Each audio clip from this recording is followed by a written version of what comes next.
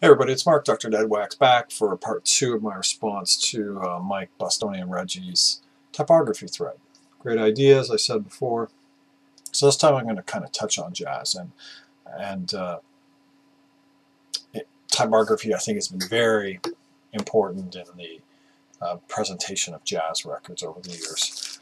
And here's a fairly not it's not my earliest blue note, but it's fairly early Blue Note, and as you can see here, kind of it's John Jenkins, Kenny Burrell, the players, a couple little pictures.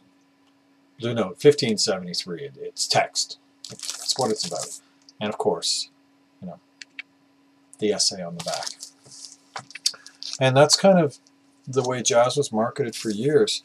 And you can see at times, uh, like on Blue Notes, I'm going to show a bunch of Blue Notes here, uh, a photograph would come in, but in many ways, the, the text stands out more than the photo. You know, in a lot of popular music, the text is often almost recessed or hidden or very subtle in the image, but, you know, it's always, of course, yes, on the back.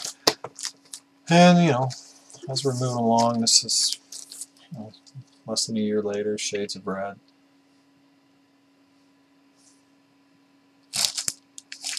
It's all about the typography, all about the text, all about it. And then we're back to the three sounds. And again, even though that's a pretty amazing image, that, that white font in front of it just kind of makes it stand out. And moving along again, here's another one that's, you know, this is about the text again. There's no action shot, there's a, a portrait of Johnny Coles, but the rest of it's text. And then we're moving into a later period, more uh, the picture becomes far more important in the artwork on Blue Note, um, into something Larry Young. It's kind of getting more modern, more, but we still have the essay on the back. Same here with the Herbie Hancock. Your players are listed, but they're much. It's much more subtle, and and the stories being told more with an image now than it is with just the text. And um, there's Basra, Pete La Roca, and uh, again, it's still important, but but you know, kind of you go back to a live date, and it seems like the text kind of takes over again because there isn't a a, a conceptual image put together for the packaging. So that you know, Night of the Cookers one and two, the Freddie Hubbard date, uh, Lee Morgan, James Spaulding, etc. Pete La Roca, Big Black. All of a sudden, we're kind of back to this heavy text-based, and you know, we still got our essays on the back. And then I wish I could find a couple more of my Jackie McLean's, but Jackie McLean really kind of kind of shows um, a shift in, again, to kind of simpler backgrounds. There might still be an image, but the text gets really bold, and here it's action, action, action. And then there's another one, uh, Destination Out. I wish I could have found that, but now we're starting to turn the text and it's starting to move. Uh, you know, up until this point, everything's been a straight line, everything's been laid out. But I think Destination Out, you know, the outs shooting off on an angle. And next would come uh, Stanley Turrentine's Rough and Tumble. And uh, players are still important. And then um, this the latest one I have is uh, Bobbi Humphrey's Blacks and Blues.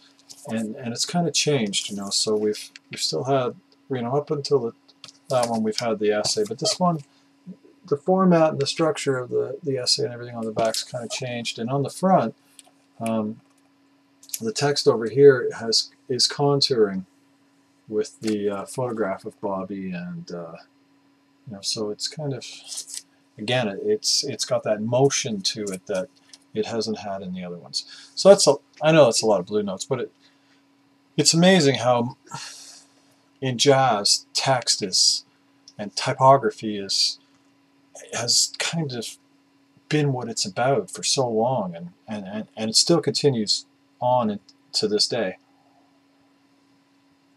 And it's not just Blue Note. I mean, here's Brother Jack at the Jazz Workshop Live, the Brother Jack McDuff Quartet. You know, this is how jazz was marketed for years, was text with an essay on the back. And you know, it's not just uh, prestige and Blue Note. It's, here's Olé Coltrane and uh, both on Atlantic. They have their own style and sensibility. And then if we move into, um, you move into the 70s, we saw that the Bobbi Humphreys was kind of uh, moving away from that more traditional look and layout. Then you get to ECM, one of my favorite labels. And here's uh, an early one. This is in the 30s. Uh, Keith Jarrett's in the light. You know, it's sand dune maybe, or and maybe shadows. Pretty simple. Uh, next is one of the plainest of them all, Ralph Towner. Solstice, Sound and Shadows. Uh, next, this is the 100th recording of ECM Sun Bear concerts. Uh, this is the excerpts, uh, kind of promotional one, but I have the, the 10 LP, but I didn't want to get, like I didn't want to have to hold that up. But So this is just plain uh, rice paper, you know, like a handmade rice paper look to the cover and then just text on top of it. Uh, chronologically next is uh, uh, David Darling, Journal October, some solo cello work. So this is that kind of, uh, remember what it was called, but you would do it in school. You'd put crayon down and then you'd, you'd, you'd, uh, put a field of color down and then you'd scratch into it um, in writing.